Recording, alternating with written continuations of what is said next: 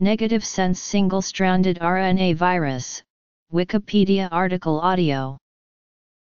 A negative sense single-stranded RNA virus ssRNA virus is a virus that uses negative sense, single-stranded RNA as its genetic material. Single-stranded RNA viruses are classified as positive or negative depending on the sense or polarity of the RNA. The negative viral RNA is complementary to the mRNA and must be converted to a positive RNA by RNA polymerase before translation. Therefore, the purified RNA of a negative sense virus is not infectious by itself, as it needs to be converted to a positive sense RNA for replication. These viruses belong to Group V on the Baltimore classification. Replication. Taxonomy. Host range. Genome. NSV life cycle and replication. Molecular mechanisms of innate antiviral immune inhibition. NNSV-mediated inhibition of IFN inhibition. NNSV-mediated inhibition of IFN response Ubiquitination Common mechanism for RNA encapsidation by NSVs. In addition, negative sense single-stranded RNA viruses have complex genomic sequences, cell cycles, and replication habits that use various protein complexes to arrange in specific conformations and carry out necessary processes for survival and reproduction of their genomic sequences. The complexity of negative sense single-stranded RNA viruses carries into its ability to suppress the innate immune response of the cells it infects and the construction of a capsid, which is unique to the varying classifications of negative sense single-stranded RNA viruses. Negative sense ssRNA viruses need RNA polymerase to form a positive sense RNA. The positive sense RNA acts as a viral mRNA, which is translated into proteins for the production of new virion materials. With the newly formed virions, more negative sense RNA molecules are produced. In more details, replication of the virion consists of the following steps. The genome size of a negative RNA virus is between 10 kb to 30 kb. Two genome subgroups can be distinguished, non-segmented and segmented, and are described as such. Two orders and 21 families are currently recognized in this group. Several of these families contain extremely similar genetic structures and are classified under the order Mononegavirales. A number of unassigned species and genera are yet to be classified. Viruses of the families Arenoviridae, Orthomyxoviridae, Paramyxoviridae, and Pneumoviridae are able to infect vertebrates. Viruses of the families Bunyaviridae and Rhabdoviridae are able to infect vertebrates, arthropods, and plants. Viruses of the family Tenuavirus only infect plants. A few viruses known to infect humans include Marburg virus, Ebola, measles, mumps, rabies, and influenza.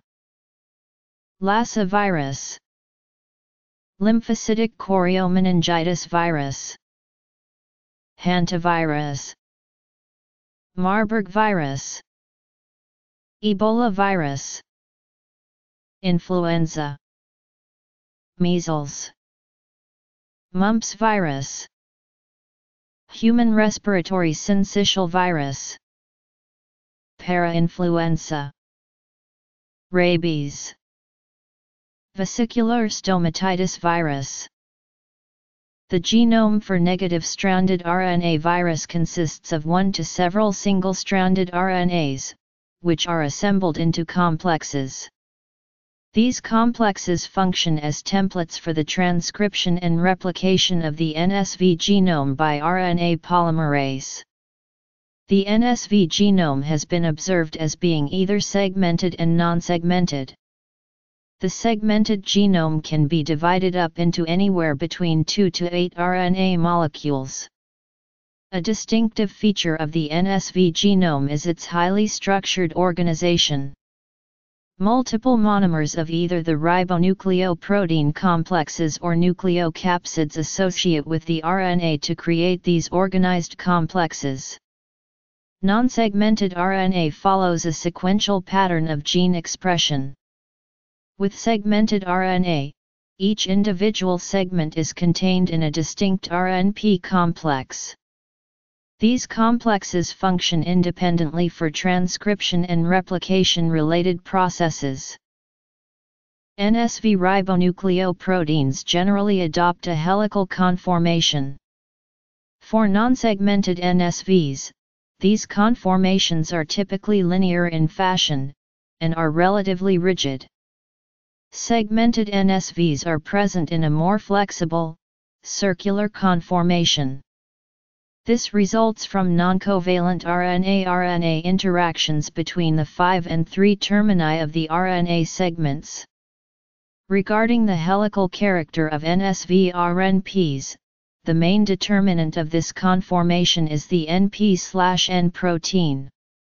The structure of virion full-length RNPs are typically presented as a left-handed, double helical arrangement of two NP strands that are opposite in polarity.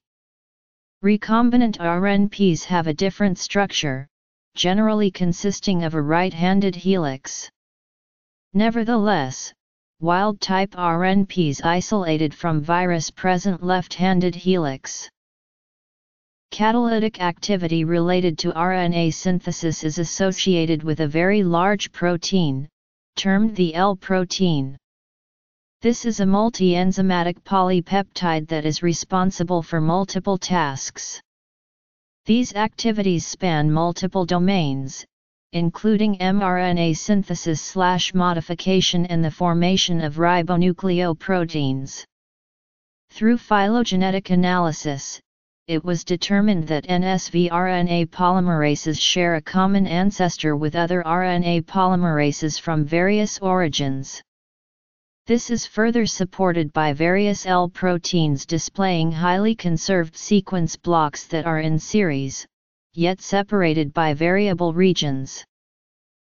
When discussing the NSV-RNP, the NP-N protein is considered to be the most abundant element of the ribonucleoprotein.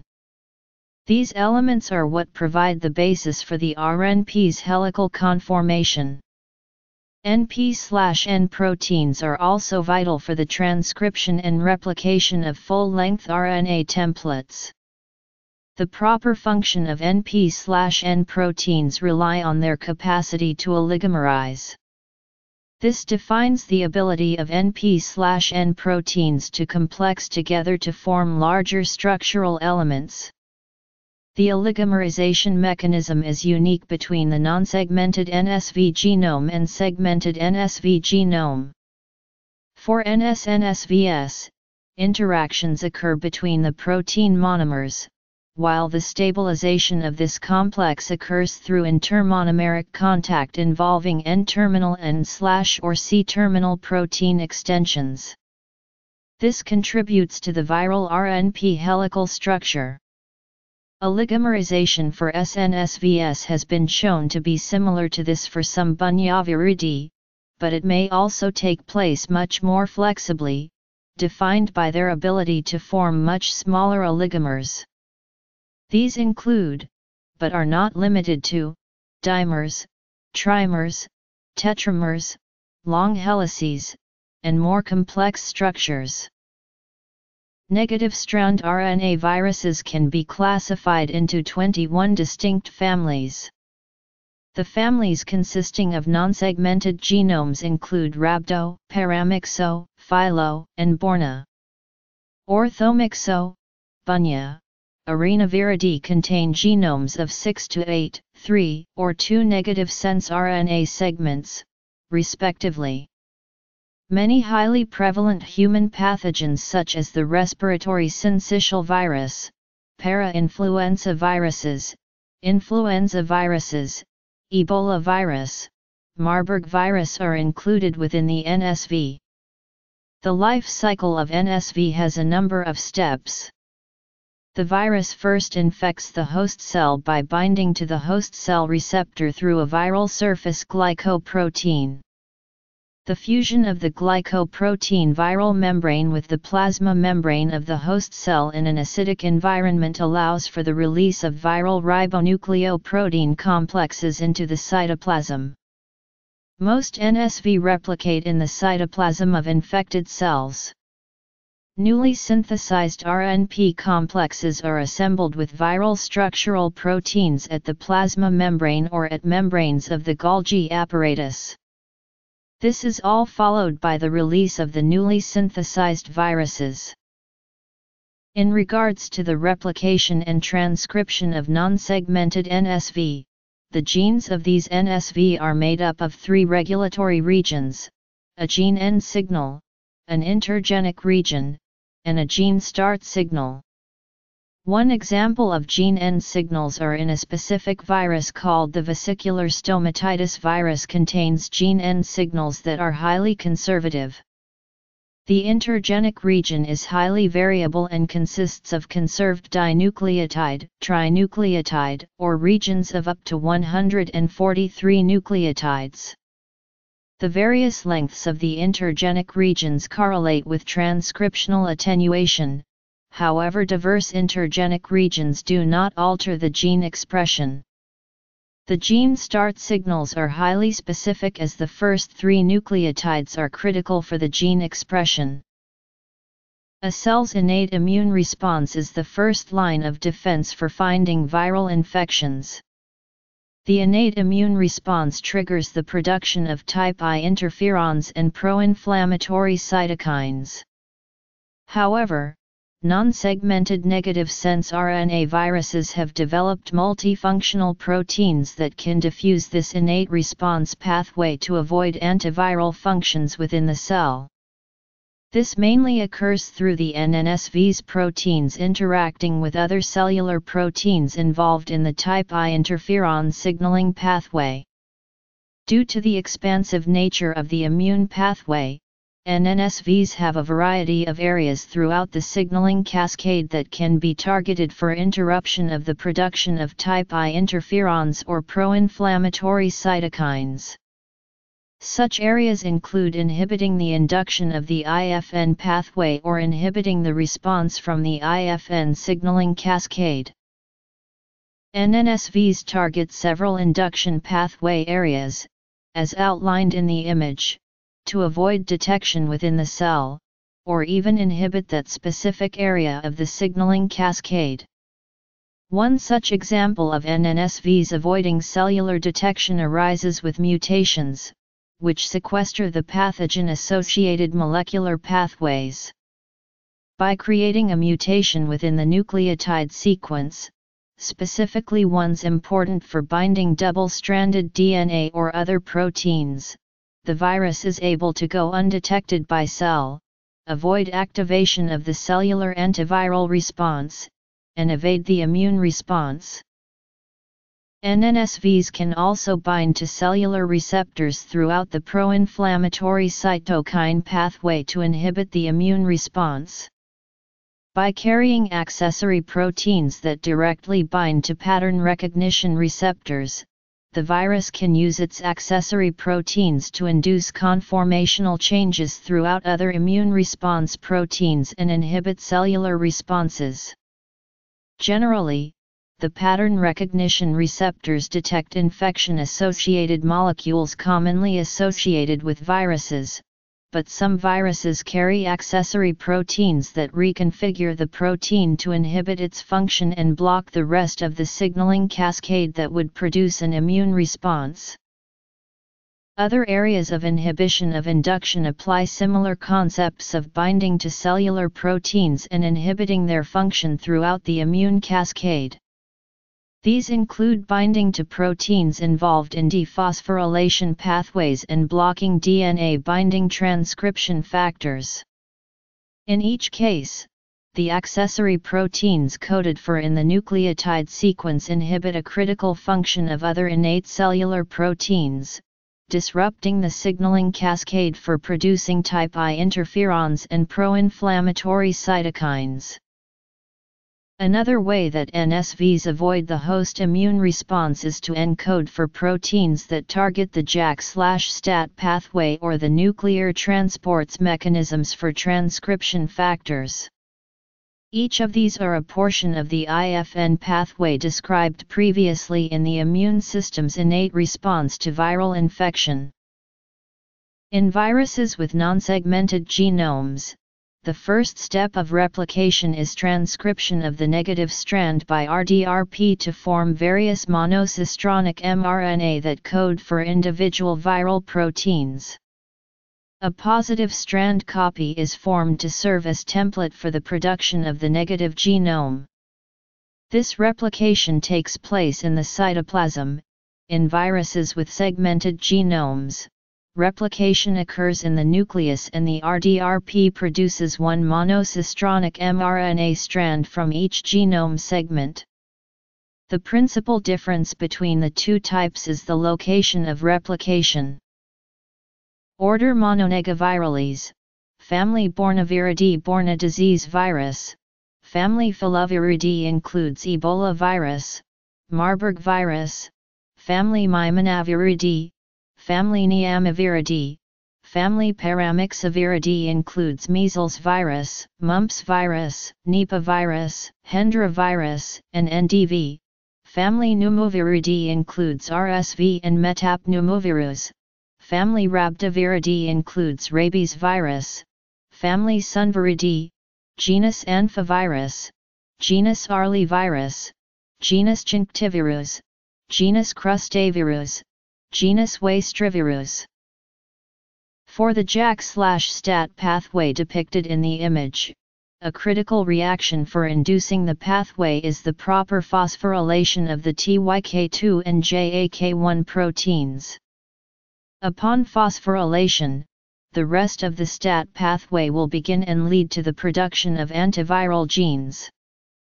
NNSVs have the capability to synthesize proteins that target the phosphorylation step of the pathway. By preventing the phosphorylation of TYK2 and JAK1, they stop the IFN-beta pathway and bring the antiviral immune response to a halt. Similarly, Viruses can also synthesize proteins that prevent the phosphorylation of STAT1 a little further along the signaling cascade. This process halts the IFN-beta pathway, just like preventing phosphorylation of TYK2 and JAK1. Further down the IFN-beta pathway, STAT1 and STAT2 are transported across the nuclear membrane, as depicted in the image. They accordingly bind to the DNA sequence and behave as transcription factors, affecting the level of gene production throughout the cell. In normal cellular function, this pathway will behave normally in response to viral infection, leading to the production of antiviral genes and the induction of an immune response. However, NNSVs have developed the capability to generate complexes that target the protein responsible for translocating STAT1 across the nuclear membrane. By binding to and inhibiting this function, STAT1 is never able to bind to the DNA and properly regulate the production of antiviral genes. This pathway of inhibiting the IFN response helps the NNSV go undetected within the cell and avoid certain immune response pathways. Another important process used throughout many cellular processes is ubiquitination which is outlined in the image below. Many cells use this to locate and identify viruses, and to restrict the viral infection. NNSVs however have developed a pathway to synthesize proteins that target the ubiquitin pathway along many of the signaling cascades descriptive of the IFN response. More specifically, the NNSVs are capable of reprogramming the host cell's ubiquitination pathway in such a way that leads to the degradation of host cell mechanism that would otherwise silence a viral infection. Like all viruses, negative sense RNA viruses contain a protein capsid that encapsulates the genomic material. The nucleocapsid of NSVs is assembled with a single nucleocapsid protein, and the viral RNA. Each NSV nucleocapsid is packaged inside a lipid envelope, but the appearance of the nucleocapsid differs from virus to virus.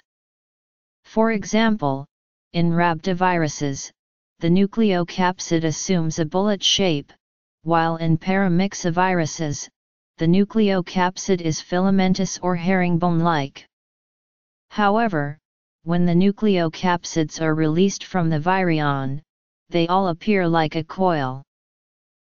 So far, the atomic structures of nucleocapsid-like particles have been elucidated for three NSV families, Rhabdoviridae, Paramyxoviridae, and Bunyaviridae. One important element of NSVs is that the capsid protein is first synthesized as a monomeric protein. N0 is a capsid protein that assembles a capsid to accommodate any RNA sequence. N0 is kept monomeric in different ways depending on which family of NSVs a virus falls into. For instance, Rhabdoviruses keep the N0 monomeric by forming a complex with the phosphoprotein. It has been found that both the N and C terminal regions of P bind to the capsid protein. Essentially, the P binding occupies the site required for N0 oligomerization. Other viruses, such as bunyaviruses, simply sequester the N terminus by N itself. Nonetheless, it is essential for N to be monomeric for the NSV to be competent in encapsulating viral RNA. In terms of the structure of the nucleocapsid, the N protein will eventually oligomerize to encapsulate the single-stranded RNA. In some NSVs the N subunits are oriented in a parallel orientation, and the ssRNA is sequestered in the center. In most NSVs, the nucleocapsid appears to be a random coil, and the symmetry is linear. Because the N subunits are oriented in a parallel fashion, the cross-molecular interactions among the subunits stabilize the nucleocapsid and are critical for capsid formation. The linear interactions along the encapsulated single-stranded RNA are actually a unique feature to NSVs. X-ray crystal structures of N proteins and M micrographs of RNP complex S from a number of Bunyaviridae show that in these viruses the nucleocapsid adopts a helical arrangement where the N proteins form a head-to-tail chain by linking to each other via a flexible N-terminal arm. The resulting chain forms tight coils with 4 N proteins per turn that holds the circular ssRNA of these viruses on the inside of the coils and extend to form large circular filaments. The process of encapsulation is a concomitant process with viral replication, likely at the site of the viral RNA replication process. Another unique feature of NSVs is that the sequestered bases are stacked to form a motif similar to half of the A-form double helix of RNA. The stacking arrangement allows for maximized packaging of the RNA in the capsid. The base stacking may actually contribute to the overall stability of the nucleocapsid, and is dependent on the RNA sequence is the most stable. An interesting finding is that specific sequences in the sequestered RNA genome may regulate viral functions. For translational termination, there is a U7 track at the end of each coding region, causing this to be the least stable region. This therefore promotes dissociation of the transcription complex. A unique aspect of NSVs is the conserved motif, which has been identified to constitute the RNA cavity through secondary structure elements of the N protein.